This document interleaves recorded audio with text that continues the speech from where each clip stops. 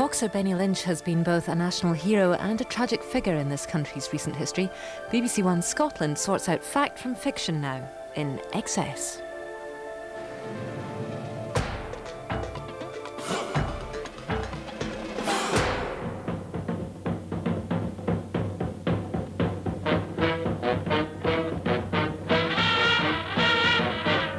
Benny Lynch was a superstar.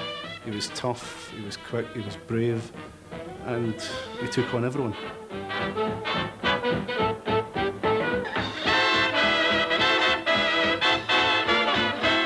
When the gong went, Benny Lynch went, bang, bang, bang, wallop, and smashed the American to the floor, unconscious, just like that. He was a wonderful boxer. I only wish he had the brain to act outside the ring as it did inside. Inside he was perfect. Outside he was a damn nuisance. He won the title at 22. 100,000 people came to see him in, in Glasgow when he arrived back. And yet he died on the street with nothing. How in hell did that happen?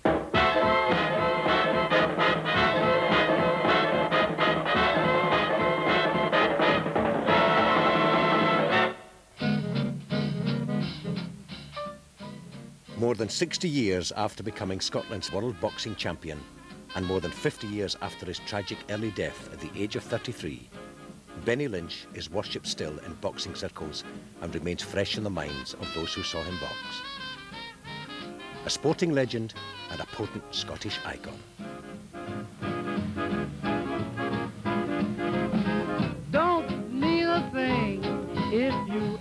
But it's not only boxers who keep the Benny Lynch flame alive. A life marked in equal measure by greatness and tragedy has attracted many a biographer, all of whom have attempted to reconcile Lynch's talent in the ring with his alcoholism outside it. Now in the pipeline, there is a major film about Lynch starring Robert Carlyle. Anybody who, who, who, who knows anything about Benny will know what a, an amazing story. He's the Scotland's first world champion, flyweight champion boxer. Uh, he was dead at the age of 32. So it's a kind of rags to riches to rags story. Well, I had written Looking After Jojo, and uh, on the set, Bobby and I were talking about, um, you know, possible films, and he said he'd always wanted to, to play Benny Lynch. And um, so I began researching the story, and um, the more I looked into it, the more compelling it became to me. But the idea of committing Lynch's life to celluloid is nothing new. 40 years ago, oh. Oh. Norman Wisdom saw huge potential in Lynch's life story. It was such a sad story and a wonderful story. He was such a successful fighter, and yet it was such a sad story in the life, you know, drinking and that ruined his career. Although Norman Wisdom had boxed for the army, he couldn't persuade his producers to cast him in a serious role. I wasn't at all surprised that they said no. Of course, they looked upon me as a comedian, and that was it. Even for a person who wasn't even interested in boxing, it was a lovely drama dra dramatic storyline and sporting one, yes. And anybody who didn't watch the film and enjoy it must have been mental. I wish I'd done it. Let, let me do it. And now I'm too old. Benny Lynch was already Scottish champion by the time he travelled to Manchester to fight for the World Flyweight Championship in September 1935. A successful boxer when he left Glasgow, his star was about to burn even brighter and a rise to fame unprecedented for the time. Even the most optimistic never imagined the result that Lynch achieved the night he fought Jackie Brown.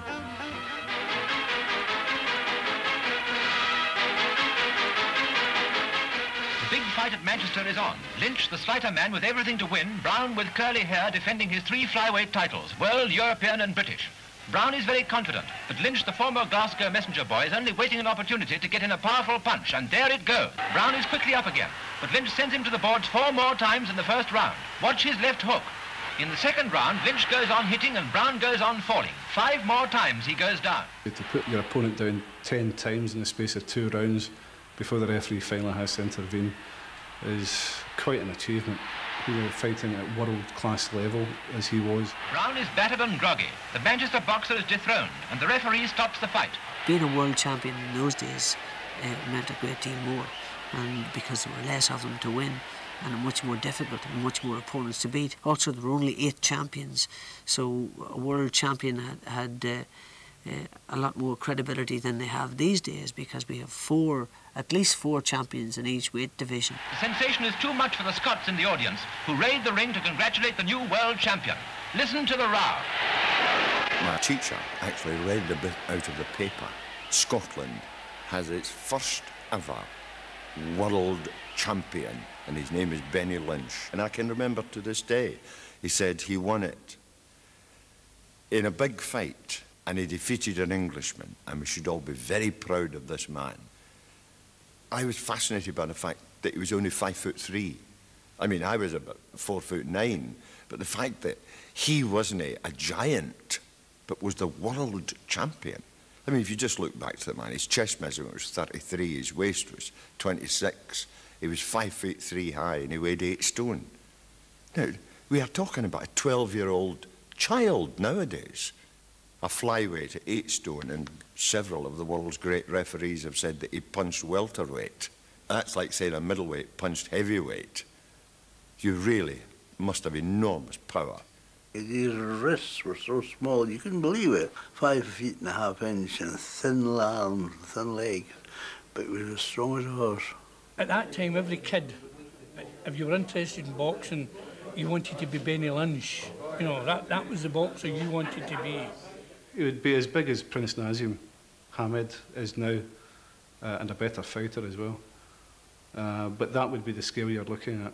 I mean, he would be fighting in arenas He'd be, fight, he'd be fighting in satellite TV, you know, broadcast live to the USA. In fact, he'd probably be fighting in the USA because he's so good. An instant star. Every Scot wanted to toast their new champion. On his return to Glasgow Central Station, 100,000 people lined the streets to hail their conquering hero. The city celebrated like never before. The King and the Queen never got a better reception uh, Scotland than Lynch got from Central Station right over to the south side of Glasgow where Benny came from. The streets were all covered with flags, flowers, and thousands of people. Benny sitting in an open deck car in the back and waving out and bowing to people. It was unbelievable. There was a suggestion, of course, that the City Council give him some kind of welcome. They refused. The City Fathers didn't even give him a cup of tea. Glasgow Corporation said no, we don't want to know. Our first ever world champion. The indifference of the City Fathers was in marked contrast to the newsreels, whose cameramen were dispatched to cover Benny's every move. Benny plays golf. He also indulges in a fast and furious game of ping pong. So fast it makes the spectators dizzy this is a very glamorous guy, you know. I mean, he loves clothes, he dresses brilliantly, cars. But what was a surprise to me was what a glamorous city Glasgow was at the time, between music halls, nightclubs, dancing, cinema, restaurants, all the images, all the places that uh, he tended to go. There's, there's a fabulous air of glamour and excitement just about the whole city at the time, which is a real contrast to the poverty that was, you know, equally apparent at the time. Now married to Annie, his dance hall sweetheart, Benny left his Gorbals home. His winnings allowed him to buy a house in Burnside, one of the city's more affluent suburbs. He lived down at Gloucester Avenue there. I, I, don't remember the exact house, it was a long time ago, but it was definitely Gloucester Avenue that he stayed. He moved up here in the, the mid-1930s, and these houses were just built about 1935 and they, they cost £500. McDonald's family fives, £500 for a five apartment semi. and they must have, I suppose, had one or two successful fights and made a little money and moved up here. Up north, meet British and world flyweight champion Benny Lynch. In training to defend his titles on September the 16th at Glasgow's Shawfield Park against Southern champion Pat Palmer. Benny believes in hard training for a hard fighter. Fueling all this fame and celebrity were Lynch's successes in the ring, and his world title fights brought a buzz to the city. He attracted crowds of 40,000 to see him box at open air shows at Shawfield Stadium. You know, you couldn't get 40,000 people at Shawfield to watch football now. A 15 for the flyweight championship of Great Britain, Europe, and the world. It may have been the height of the Depression, but the people of Glasgow forgot their worries and revelled in the glory of their very own world beater. Lynch ruled the ring ruthlessly and doled out boxing lessons to anyone who dared challenge him. He may have been small, but everybody wanted a piece of Benny. This is the very beginning of celebrity culture in the United Kingdom, in, in sporting circles certainly. Well, this is uh, Will Fyffe and two other great Scotchmen here. There's Alec James, Benny Lynch. Oh, baby, what I couldn't do with plenty of money and you. In spite of the worries that money brings, just a little filthy lucre buys a lot of things. And I could take you to places you'd like to go. But outside of that, I know you. Always with an eye on the bottom line, it was the makers of Scotland's other national drink who recognised the value in having Lynch endorse their strengthening beverage. The money was rolling in. Now he had wealth. That meant he could go drinking every night of the week because he now had he was flush with money. He liked to drink. He liked to drink far too much. Everyone wanted to say, "I know Benny Lynch." I bought Benny Lynch a drink, or more likely, Benny Lynch bought me a drink, as he did. He, he bought everyone a drink. He bought entire pubs a drink. Benny used to come out, and all the kids used to come running down because Benny would throw money to us. Uh, sixpences and threepenny pieces and that.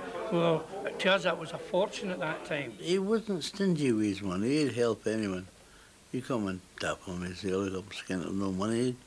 He'd give you some money. He was spending money left, right and centre. I could take you to places that you would like to go. Annie, his wife, told me the story that she had to get to the state that where she could never ever say to him, "Oh, I would love this" or "I would love that," because if he heard that she wanted anything, he just went out and bought it. If she said she wanted a fur coat, he would go out and buy a fur coat. If she wanted a new suite of furniture, he just went out and bought it. He had no conception of management of money. Oh, baby, what I couldn't do with plenty of money and you. Well, you tend to find that not too many accountants take up boxing. Uh, and there's never a shortage of people who are willing to part them from their money. And boxers are by and large notoriously poor with their money. When you look at Mike Tyson now, who's allegedly $37 million in debt to the Inland Revenue in America. And uh, that, that's something that's not going to change, I don't think. Money and you. Amongst the world's flyweights, Lynch was peerless. And if one fight proved this, it was the extraordinary 1937 title defence against a future world champion, 19-year-old Peter Kane. It was a sellout fight at Shawfield Stadium. And to the delight of the crowd, a touch of Hollywood glamour was added to the evening in the shape of Oscar-winning actor Victor McLaglen, who turned up and took a bow before the first bell. Then battle commences, and Peter Kane is promptly socked by champion Benny Lynch. But little things like that don't worry Kane. As he settles down, he forces Lynch back, and time and again he attacks with brilliantly timed punches to the body to set the crowd roaring. Kim was a very, very good fighter, but Lynch was brilliant that night. Kane was terrific, outstanding. But he just met Lynch at his best that night. And having cleverly fought his way through the whirlwind tactics of his opponent, he reaches the 12th round, complete master of the situation. He boxed wonderful. Not fighting, not just boxing, parrying, shooting, ducking, weaving, making him miss. And he boxed perfect. It was a wonderful fight. And now Lynch begins the battering process. Slowly the life ebbs out of Kane's attack. Slowly his punches lose their bite. Kane is reeling. He can't hold out. It'll be a knockout. But the gong saves him. Then the 13th and last round. The champion goes for the kill. Kane's defense has almost disappeared. He's reeling again. Lynch has got him. Kane is down. You'd think Peter had had enough by now, but after a count of seven, he tries to carry on the fight. It's impossible, of course. Lynch's gloves are flying, raining punches like hail, a hurricane of punishment. Down again. And for the first time in his life, 19-year-old Peter Kane hears himself counted out. On the 13th day of the month, in the 13th round at precisely 10.13. Knockouts were a clear sign of his power, but Lynch was a supreme stylist and a complete boxer. He starts like a bullet, walks across, lands the right hand, left hook, whoa, drops him like stone with that left hook. And I love the way he moves his head to avoid his opponent's counters. He was a wicked puncher. He put everything into his shots. Comes up close to him, and it's the wrong place to be with Lynch. He was really good on the inside, could chop you to pieces. Looks like he's throwing wild punches, but they're all carefully calculated. He knows what he's doing. Fighters today could even pick up tips from him. On the inside, it was really good. Look, bringing his shots round up the middle, round the side. Again, his stance is unique too. Bounces back, lands the right hand. He used to parry punches with his hands. It was great the way he blocked punches and turned his head down. Brings the left hook up the middle. It's fantastic stuff. You know, watch him turn to the body there. That's the impressive thing. After 12 furious rounds, he decides in the 13th round, I'm going to hit him to the body. Watch again. Body shot, bringing him up the middle. All of these things are still used today. Incredible technique, and this is the end of the fight. You can see it here. No doubt about it. He can really hurt his opponent, take him out. Deadly finisher. Unbelievable.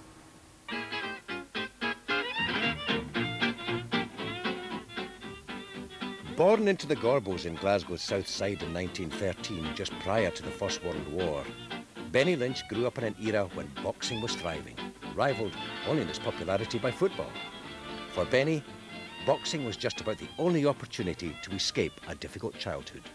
The Lynches were a very poor family. He had his father, his brother James, his mother, and himself. But unfortunately, his mother had quite a few boyfriends mum left dad and uh, was taken in, as people were at the time, by friends or aunts or uncles, the extended family syndrome. Uh, nowadays, it'd be taken into care by the social work department, but in those days it was friends and relatives that took over. Winning his first boxing honour at the age of eight, Benny was encouraged to take up boxing by a local priest, Father Fletcher. He showed great promise, which was noted by Sammy Wilson, local bookmaker and a former boxer himself. Sammy Wilson noted how good this young lad was as an amateur boxer, and he took him under his wing, told him that he could make it as a professional, told him he could make it as a world champion. It became a, like a father and son relationship. Very close they were together. A way of supplementing his meagre winnings from his early fights was to take on all comers in the boxing booths at travelling fairgrounds, where Lynch's eccentric style soon singled him out. The crowd used to whistle Pop Goes the Weasel, that was a popular tune at the time. They whistled that because he had such an unusual dancing technique. This was the way this man kept moving around all the time. The boxing was a farce. They weren't genuine fights. It was just a sparring session, anyway, you know. There were no verdicts given. Just if you went the distance, you got your money. It was three rounds you did in those days. You, you get a battle of, say, a pound if you're still on your feet after the first round still on your feet after the second round, you get about two pounds, and, and after the third round, if you're still on your feet, you won about five pounds, which was quite a bit of money in those days. He would travel around in the booze to earn money, and that toughened him up, and that helps develop skills, I think. Uh, thankfully, young boxers don't have to do that anymore. The booths have long gone, but the effort required of today's boxers to match the success of Lynch is as demanding as it ever was. There is no sport harder than boxing. They footballers can sit back in the back wing, take a breather. We take a breather, we get knocked out. It's as simple as that. There's no breather in that ring. Boxing's a very, very hard game. People don't realise how hard boxing is. The training you've got to do and the rigorous way you've got to conduct your living, eating, drinking and all that. See, most people at ringside, they don't see the six or eight weeks before it. You're out on the roads every morning, you're in the gym every night, sparring, you're in the weekend, you get about one night a week off. No matter how disciplined you are, suddenly the alarm goes off at six o'clock in the morning and it's windy and rainy and oh no. Gotta get up and do my road work. Gotta go to the same old sweaty gym every day and take the punches in the head just like I had before when I was working my way towards the top. The hardest part is at the weekends, all your mates are going out and they're egging you on to go out and you've got to say, no, can I go, you've got to go in early, have your early nights. What people don't seem to understand is the effort it actually takes to get up there is, is so onerous on your body and so tough and physically demanding that guys are sort of half worn out by the time they get up there. If I, if I won a British title, I would be over the moon with that. But uh, to take it on for there, because you obviously don't finish here. If you get to that level, you've obviously got to take it to the world level and get a go. Personally, I'll get a go with anybody. It's that much more difficult when you are a champ, when you have something. You don't want it as much. No matter what anybody tells you, the same passion is not there. The desire slightly ebbs away as you, as you, as you get more money and you get a better quality of life. Lynch's hunger started to wane sooner rather than later. Distractions from training were never far away. Benny, unfortunately, was so popular, and there were so many people round about Benny. They knew he had money, so they were always round about Benny, and in for a pint, and Benny was biting up and drinking up. And that's one thing you can't do in boxing, is misbehave yourself and still expect to be a top. More drinking and less training in the run-up to the rematch with Peter Kane pointed to an erosion of Lynch's supreme ringcraft. Lynch isn't his usual brilliant self. At the weigh-in, he was one pound seven ounces over the stipulated eight stone six, and had to forfeit a hundred pounds. But though he's a Scot, that doesn't make any difference. He was lucky to get a draw. he was beat from here to hell and back, but still, he got a draw. Different man altogether. And then there's sensation, when the referee raises the arms of both men to indicate a draw. Some of the crowd have other ideas.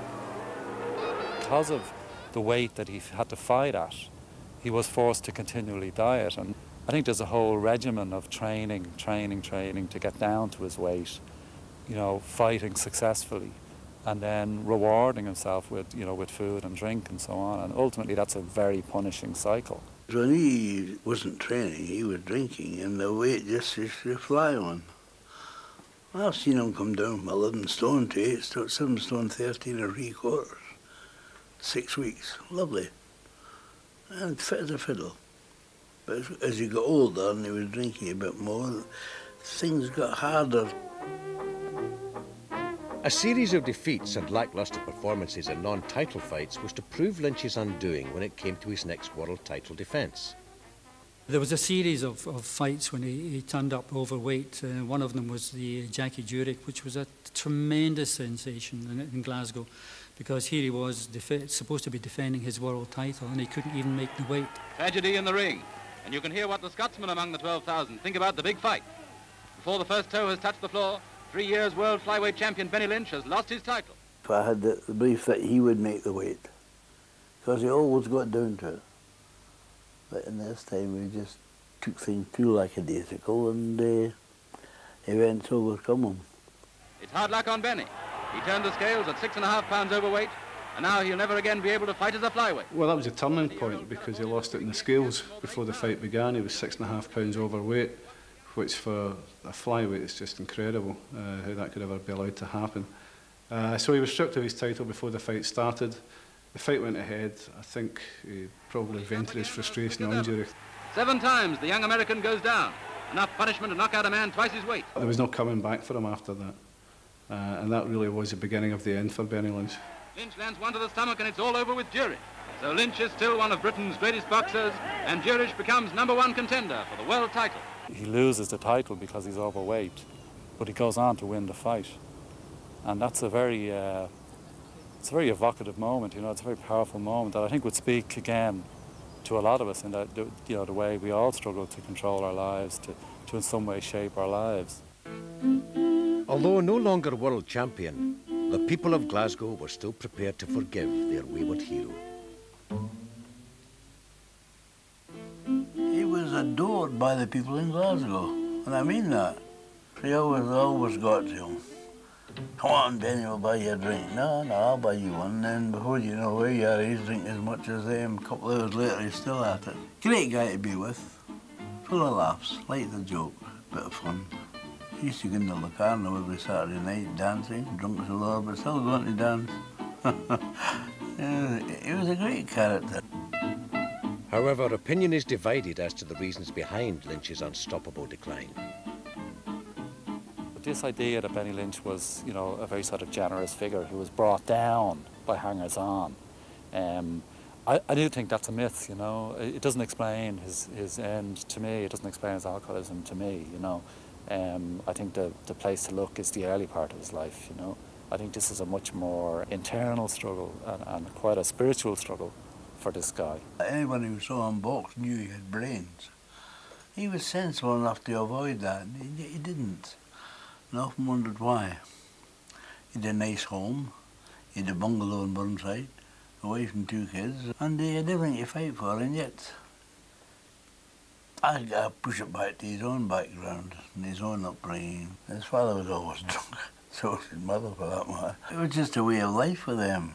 It was a hard job, Lynch. Maybe under different circumstances he may have, may have done better, I don't know. Benny just was one of these unfortunate chaps that was mixing with bad company, company uh, dr- taking drink off him, and Benny was drinking a wee bit weak will that way. By the time he fought at the heavier bantamweight, Lynch's increasing weight was far less a problem than his inability to remain sober in and outside the ring. Benny Lynch fights Aurel Toma, Dark Trunks. Tonight he is to prove Benny Lynch's downfall and is doing all the attacking while the Scot hardly seems interested. There he was, hopelessly drunk for days before it, hopelessly drunk on the train down to London to take part in the fight at the Empress Hall down there. He even had drink in the dressing room. He had a bottle of his favourite whisky, Crawford's liqueur whisky, wrapped up in a towel in his dressing room. In the third round, Toma lands a knockout, the first that Lynch has ever suffered. There's certainly no doubt about it, his crisis is over. I was a farce, it was. It wasn't Ben Lynch. Any boxman could see it coming. You knew it had to come sometime. For Lynch, once a great champion, it's a sad exit tonight. For Aurel Toma, it's a gay one. That was the first time Benny Lynch had ever been knocked out. It was the last time, because it was his last fight. The National Sporting Club were well aware of Lynch's drinking. They even booked him into a clinic to tackle his alcoholism. But Lynch did not respond well to the treatment. Exasperated at his repeated failure to make the required weight and now his apparent unwillingness to confront his drinking, led the boxing authorities to first suspend and then revoke Lynch's boxing licence. To my mind, he, he, the British Board of Boxing Control were extremely unforgiving. Even given the time, there seemed to be very, very little appreciation of the fact that this was a man battling uh, with a very cruel addiction. There's a very clear class issue that this is a young fighter from Glasgow, you know, from an, an immigrant family, um, dealing with really, you know, the, the aristocracy um, who ran, you know, the higher echelons of boxing at the time. With the help of close friends, Lynch tried to quit the booze again. This time at a monastery in Northern Ireland, where he even managed to dry out. But on his return to Glasgow, It was back to the same old friends. There's Benny, I want to be seen with Benny, or I want to buy Benny a drink. Only 26 and bloated with drink, Lynch returned to the boxing booths in a vain attempt to win back his licence. However, the money he earned there was never enough to feed his uncontrollable addiction. His money started disappearing. I've Got to remember that in total Benny earned about between 30 and 40,000 pounds, which would be the equivalent in today's terms of something around three quarters of a million to a million pounds. He come to the fight and he just pulled his pockets empty. And I started slinging money all angles. Amazing, huh? Somebody must have made a lot of money on it because he never got it all. As his relationship with the bottle grew, Lynch's personal life disintegrated and the downward spiral of self-destruction neared its end, when in August 1946, Benny Lynch was admitted to Glasgow's Southern General Hospital, malnourished and feverish. i've you seen Benny just before he died? He'd have cried. How you knew he would cry? He walked in the hospital and just told us, he said, I'm going to die. They told him he was going to die. You know? I'm Lynch. I'm sick. I'm going to die. Ah, oh, Benny's wonderful.